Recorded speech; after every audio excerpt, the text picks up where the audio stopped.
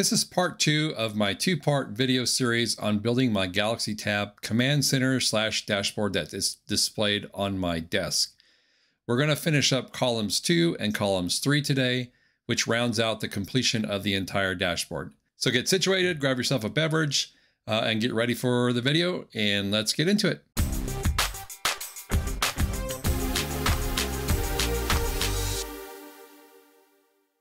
All right, so this is how we left the video last time. We built a single column out of our three column Office tablet dashboard. So today we're going to add the second and hopefully the third column if we can do it quick enough so the video doesn't get super long. So as always, we go ahead and we start by editing the dashboard. So let me get out of the way here. Click the edit dashboard up here. And then there's an add card button down here. Now we're not adding another card to this grid. We're adding a whole brand new grid, which will then make the center column. So this will be a grid card. We'll add that grid card. And on that grid card, we are going to have one column, like we did last time, and not be square. And this one's going to be, we're not going to start with a grid on this particular center column, because if you remember, I have the home feed card as my first item in that list. So I only have one uh, card in that very first top section of the grid. So we'll search for home feed card and we have a custom home feed card. Now again, this card is, is uh, an HACS edition. You'll need to go to HACS and add the home feed card. And what I'm going to do, is, as I have in the past, I'm going to go ahead and copy the configuration and then we'll talk through it. Okay, so I've pasted it in here and let's talk through what it is. First of all, this is what it looks like. But it's the custom home feed card and this is where you have to do a little YAML work. But again, don't be scared of YAML. It's not that bad. Just the, the hardest part is getting the spacing and the indentation correct so it doesn't complain. But if you do it wrong, it will tell you, and then you can go back and look and see what's wrong. I don't give it a title because I don't want to waste the space with the title. Uh, I don't want to show anything that's empty, so I set that to false. The scroll bars are enabled. I don't need to see scroll bars. If it's too long for the for the um, the card, I don't care about it. And then I have a max item count of four. You can change this as much as you want uh, to fit in the dashboard space, but I find four to be the right amount of space taken up by this card so everything else fits. State color true, exact durations true. Entities, now this is where you specify which entities you want to show up in this home feed card. It's not that everything just shows up automatically. You have to go through and set all of the entities that you are interested in. But I have all my motion sensors, and it's just as simple as taking the entity name, giving it an icon, and giving it a name. So kitchen living motion, you can see here was the icon uh, motion sensor, the, the name kitchen living motion. Uh, and then all of these you go through and add them on. I've got alarm control panels, I've got lamps, uh, doors, but you just fill this out as many entities as you want to fill out this card. Anytime there's uh, an action or something that occurs with one of the entities in this list, it will show up here. And you can specify again how many of those you want to show up. All right, so this is the first card that we have in this center column. If we just save it real quick, we'll be able to see how this column lines up. It's the center column on my finished dashboard, but the right column currently because that's I only have two columns. So we'll go back and edit this. And we're going to add another card within this grid. And this next card, of course, is going to be a grid card because we're going to have, uh, looks like one, two, three, we're going to have five different cards within this particular grid card. And these are all going to be custom button cards again. So I'll set the columns to five, non-square. And because we've talked about custom button cards before, I'm just going to copy the configuration in here and then we'll come back and talk about it. Okay, so we've got the we've got the custom button card uh, cu custom button card set up in this particular grid, and there's five of them. These are all my motion sensors.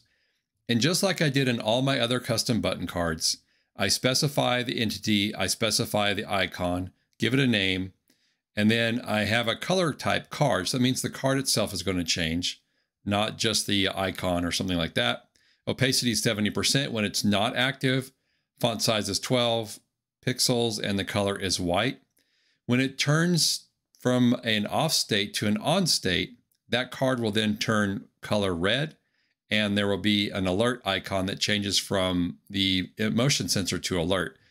And it'll tell me that there's action or motion in that particular zone on one of these sensors. And I do that for all of them. They're all exactly the same. They do the same thing anytime there's motion showing up on those sensors. So the third card will be another grid card. And this particular grid card will have two columns. And these two columns are going to be, again, custom button cards. So we'll just start with custom button card here. And we'll put in those two, and I'll talk about those two here in just a moment. Okay, so I've added those two cards here, and we have two custom button cards. You'll see those right here. This is my driveway and my porch motion sensors. So when somebody shows up in the Frigate NVR and it detects a person there, it's going to show me this and it'll flash kind of a yellowish color. And the same way with all the other custom button cards. And you're seeing a theme here with the custom button cards. It's always the same way. It's a custom button card with a by, uh, an entity name, an, an icon, in this case, motion sensor, and the name, and then the card type, meaning the whole card is going to change colors. Opacity 70%, 14 pixels for the uh, font, and a color of white for the font. When it turns to on, this one's going to turn yellow. It's going to have an opacity of 100%, so it gets bright. And then we're going to have this blink two second ease infinite like we did on one of our other cards. And what that means is it will blink every two seconds, kind of a slow pulsing sound uh, blink and then it will do this the entire time that the card is in an on state. It also changes the, the icon color to black, and it also changes the font color to black. So my next row is going to be a an entity card. And so I'm going to add an entity card here. And uh, this is going to require a little YAML because I'm going to change the type of entity that it's displaying it would just display a standard entity here, like a sensor or something like that. But I, what I need to do is I need to be able to specify some additional attributes or additional settings on this card. So I'm going to get rid of these right here. This is where that is under the code editor. And we know it's the last entry I've made at the bottom here because this is the last row that we've added to our entire view, our entire dashboard view. So this is an entities card. And I'm going to change the type here. It's going to be a type called attribute because what I need is the attribute of an entity, not the entity's uh, state itself. So we're going to give it a type of attribute. And then we're going to specify the entity, which is sensor Samba backup. And then we also need to specify the attribute we're interested in. And the attribute in this case is last backup. And what that's going to do is it's going to go get the, the list of attributes and pull the last backup attribute from the sensor. So that gives me the, uh, the indication of when my last successful backup was. And then I'm going to get rid of the name just because I don't need it to be uh, duplicated on here. I'll just put a couple of uh, quotes there and the name is now gone. And if I really want to get fancy, I will give it a title here. And that title is going to be Samba Backup. Now you could do this either way. And looking at it, I think I like it better the other way, but we'll see here. Title, Samba Backup. Yeah, so I, I get a title right here, but I don't necessarily like that title there. So let's get rid of the title. And let's just leave the name the way it was. I think it was defaulted to Samba Backup. And that way it puts it all on a single line and saves some space. So this is my last successful Samba backup. Now this next card is kind of interesting. It's called a vertical stack in card, and I use it with auto entities. Now it doesn't actually display on the dashboard unless certain criteria are met. It hides it otherwise. This one doesn't actually have a, uh, a UI entry, so I'm just going to do a manual card here, and we're going to set up all of this code and I'm going to walk you through the code. So let me cut and paste the code from my production environment and we'll go through and talk about how this is all set up. Okay, I've pasted the code for this card in and you'll notice over here it doesn't actually display anything. Let me make a quick change down here and see if I can get something to display. There we go. So that's what it looks like when it's actually being displayed. So let me talk about how this works. So we're using two cards kind of nested together here. We're, we're starting with a custom vertical stack in card Again, install these through HACS. And if you need to know how to install HACS, go watch my video on, on uh, HACS. this vertical stack in card actually has a custom auto entities card within it. So this card by itself would just show whatever you want in the entities, but this determines what shows and when it shows. So the card title is battery devices less than or equal to 10%. So I want to know when my devices get down to a certain level. And in this case, it would be less than or equal to 10%. And I change it just so it would display here. But the type is a custom bar card. So we have card layered and card layered and card. So the auto entities determines when it shows. The custom bar card determines what it looks like when it does show. And I have some severities sitting here. And what's interesting is, you know, I have these different severities, but it doesn't actually display anything unless it's less than 10%. So you could conceivably just set the severity one level here and not worry about it. But I do have it in case I want to display it at a higher level at some point. So let's say I go to uh, 50% uh, or 60. I don't even have any. Yeah, here's one, 50%. This one is turning yellow because I have this, or orange because I have this uh, severity level set. So you can specify the severity levels on a custom bar card. And you can do um, device class battery. Title position is left. That means it puts the title over here on the left-hand side. And then you can mess around with all of the, the CSS settings or the fine tune how you want it to look. In my case, I want padding of zero, zero pixels on the left. And then the rest of these determine uh, each side of this particular bar how much padding is on each of those. Saturation is 50%, one column, height is 20 pixels, the width is 60%, and then we have a card style box shadow of 00, 0, bar style of, of radius of 20 pixels, indicator style of 20 pixels. Now, this whole custom bar card could be a video by itself. If you're interested in how all this works, make sure you go look at the custom bar card uh, GitHub page. It, just, it, it details how all of this works. But this is what it looks like based on these settings right here. The important part about this custom auto entities card is filtering out what you want to see or not see. In this case, I want to include all devices that have an attribute with a device class of battery.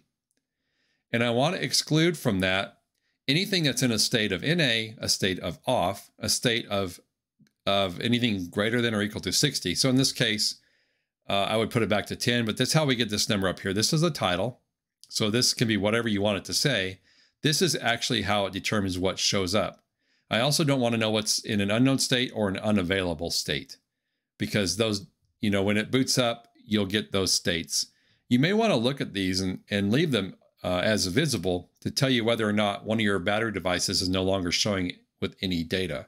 And that, that if you take these uh, excludes off of here, you'll know that anytime it's unknown or unavailable, that the battery uh, reading is not actually reading anything. So that may be worth your while to leave those. To me, I do a lot of rebooting, uh, restarting for configuration changes and stuff I'm playing with. And I always see that show up. It eventually will correct itself. I just don't want it on here when I'm not, uh, when I don't need it. So there we go. We just put this back to 10 now, and you'll notice the card is completely gone. So that, rewatch this part of the video if you want to see that again because it really does uh, get a little complicated when you have three different cards kind of stacked in together with each other. My final card in this column is going to be a custom timer bar card. And that has a, a button to click, but again, we've got to do YAML. So let me just cut and paste this real quick while you're watching me do it this time. And we will get this all up and running. And for this, I need to fix all of my spacing. So let me come down here and bring this over.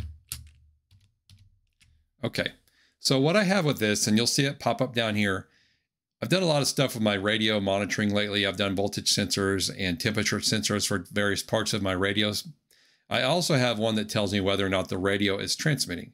And I want to know how long the radio is transmitting for. So I, I use this custom timer bar card, and it's using an entity timer radio transmit. And all that is, is a radio transmit sensor that is attached to an ESP32. So anytime the radio transmits, the voltage level drops to a certain level and that indicates it's transmitting. So you basically it's pulled to low. And with that, I can tell whether or not it's transmitting. You'll see that in column three when I show you where I actually do that stuff uh, uh as a button on the dashboard. But these uh, icons, MDI, Wi-Fi, uh, use that as a transmitter indicator. Uh, but I have modifications here for this timer bar card. Elapsed 40%. I want it to turn orange. And then it changes the icon to fire. And the bar height stays at 12 picks. And then at 70%, I want it to turn red. And then the MDI fire alert uh, icon will show up. Now this, this entity is a timer that is based off of what I mentioned before, but it's actually a helper. So under configuration, you can add helpers and I can set this timer, which is currently set to two minutes, I believe. When it reaches 40% of two minutes, it turns orange. When it reaches 70% of two minutes, and then it turns red. It's a visual indicator of how long that radio is actually transmitting. So if we save this now, we should see a completed column two. We have our home feed card, our motion sensor custom button cards, our camera sensor custom button cards, our last state of our Samba backup or last successful run. And then hidden in this little gap right here is our battery monitoring uh, auto entities card. And then of course our final card here is our radio transmit card. And this has that uh, timer bar card. All right, let's try to finish up with the third column. And again, the same way you do this as we did before is you come over here and you add another card. All right, so the first row, we're going to start with a grid card, of course. It'll be, we'll leave it at three columns for now, not square. And inside that, we're going to put a picture glance card. So you can start typing picture here and you can see that you have a picture, a bunch of different picture cards. I'll do picture glance. Uh, we'll get rid of the title because it takes up space I don't need. You can specify a, an image that's always there whenever it's not active. I don't use that. And for the camera entity, we're going to use a driveway person that's the picture the card will show whenever there's activity.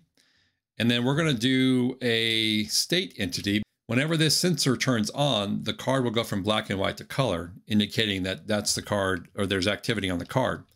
And so I will use a binary sensor for this. And then we will take off this right here.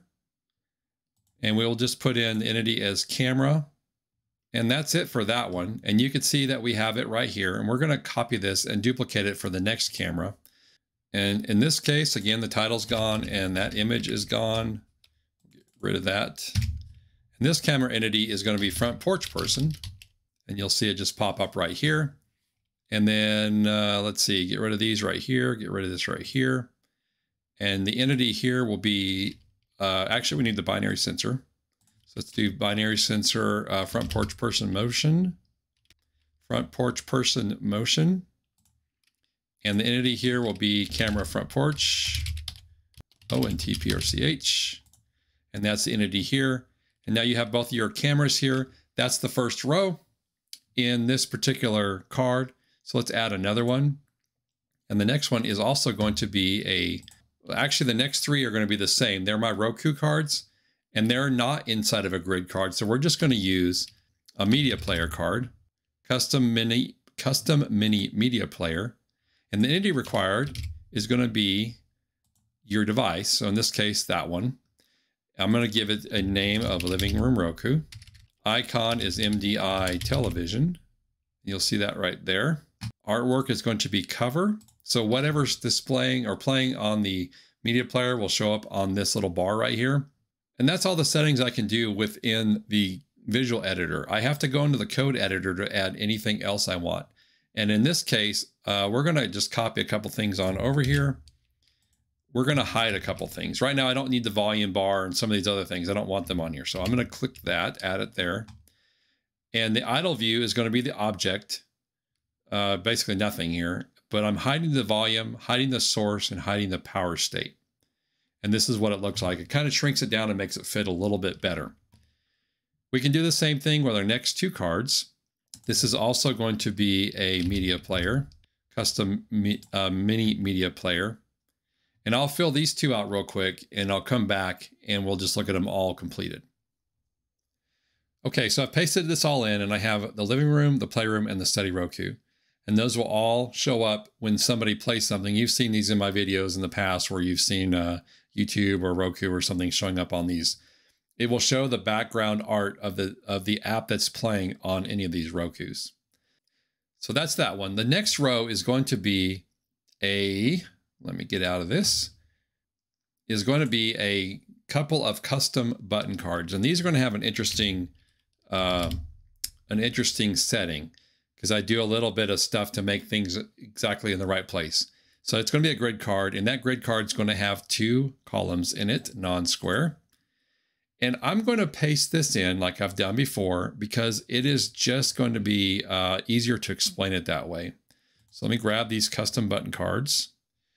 Okay, so now we have these two cards. And you'll notice here that uh, there's a lot of stuff going on here. This is a custom button card. And These are this is an example of a custom button card that can that can get pretty involved in how much configuration you can do on this and customization.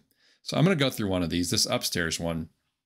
Again, it's a custom button card. It uses the upstairs HVAC state. Now that's my Nest thermostat. And I get all that information from the Nest integration that I've talked about before. The name is upstairs, which shows up right here. Show units false, show state false. Uh, those are going to be indicated by the actual card color changing. The icon is a fan off, so if it's not running, it'll automatically default to fan off, and the size is 25%. And now we start getting into the styles. If, if this just blows your mind, um, you'll have to dig into the custom button card documentation to really get an idea what this is. In fact, it's so long, I can't even fit it on the full screen here entirely. But the card, text transform capitalized, so I want it capitalized. Uh, opacity 50%, font size is 20 pixels, and the height is 100 pixels for the card itself. The name is uh, bolded, 15 pixels white, align self start, justify self start, and padding left 30 pixels. If you just want to make this card, just copy the code and do it, and then experiment with it. That's probably the best way to start with some of these is to take an example and then start playing around with some of these values and see what it does because it's very hard to explain this to you in a video like this. Again, the custom button card and this particular use of the custom button card can be a whole video unto itself. Uh, image cell, justify content middle, align items start, and then we have a grid template that does all of this stuff right here. Uh, and then the grid template columns and the grid template rows. And I had to play with this for quite a while because this in my mind doesn't work. My, my mind doesn't process this right here because it doesn't make sense to me. So I basically took some, uh, I took a starting point, an example, and then I just went through and I started making changes, read some of the documentation based on what I thought this was doing, and finally got this to be exactly where I wanted it to be. So these are two displays. And the reason I'm doing it this way rather than using the net, the uh, thermostat cards is the thermostat cards are huge and they take up a lot of space and they wouldn't actually fit here on my dashboard. So I had to redo this and make this work a little bit better for spacing and get all the information I wanted on here. If this were to turn on in cooling mode, it would turn the card blue. If it were to turn on heat mode, it would turn the card a reddish color. So right now they're both off, so there's nothing going on. But all of this stuff here, in terms of how this is built, is done with these these uh, this custom YAML. And again, you're just really going to have to dig into this and look at it and see what it does and apply it and experiment if you want to build this card. The code is going to be in GitHub as it already is for part one. This same code is in there. Look through it. And if you have a question about it, I'll do my best to answer it. Um, but it took me a while to put these cards together but it just shows you the power of what you can do with customization to build the dashboards. And I've done this twice, of course. So you have both of these cards side by side on that grid. Okay, so let's do another card. And I apologize that I really didn't dig into this in detail. Again, this can be an entire video all by itself, just building something like this with an entity card. So let's go back to Visual Editor and we're gonna add another, another row here. Again, this is gonna be a grid card. This grid card is going to have three items in it, non-square. And the first card in this is going to be an entity card, not entities, but entity, a single entity. And this entity is going to be, uh, let's see, current day, if I can get this. Yep, Flume Sensor, current day. And the name is optional. I'm going to call it day water. That's the water usage for the day. Icon is optional. So I'm going to change this to Haas Fountain. Well, let's find Fountain here. Uh, MDI Fountain, let's go with that. And everything else is going to be exactly the same, uh, except for gallon. I'll put this gallon. So now you see I have a card that tells me how much water I've used today. And today my sprinklers ran, so that's why you see that at a pretty high number. The next card in this row is going to be a custom button card. And you see me do this many, many times. So let me just put the code down there for you. And it's going to be a custom button card that shows the current, it shows the current water running. The difference in this one is that it does that blink infinite ease and it changes it to green. So when the water's running, you'll see this kind of pulsating every two seconds thing going on. Anytime the value gets above 0.5. And finally, our last one is another custom button card. So we'll add that here. Custom button card. I use a lot of custom button cards because they're just so powerful. They do a lot of stuff. And so I will copy the code for this one and paste it in here for you. And this one is my washing machine, which also will flash or turn blue whenever it's running and stay in this state when it's not running. That is this row, and that's row six of seven. My final one is going to be a seventh row. Again, a grid card. We always start with a grid card. My final row contains all custom button cards. So let me go ahead and paste that in here. And by the way, when I do these bulk pastes, I'll just show you this time. I go to the very bottom here because I know that's where I just added this row. I'll do cards and then I will go into my, when I'm pasting this, when you're building it like this, you wouldn't actually do pasting unless you're copying from another column. But copying code, you just take the code in the visual, in the code editor, and you just paste it in. I'm grabbing that code now. We'll just paste it in here in the right spot. And that moved it down for some reason. Let me see what happened here. Radio power supply. I don't think I specified the right number of columns in this one. Yep, so I need to go to four columns on here. So this is a four column.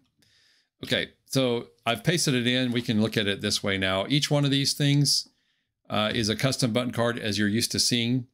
Uh, this one is a radio power supply voltage, and this one is radio power supply uh, temperature. So all we're doing here is we're we're changing the values based on uh, what the value of the entity would be. So in this case, it's a volts uh, power supply volts calculation of 14.5 or greater. It will turn it red.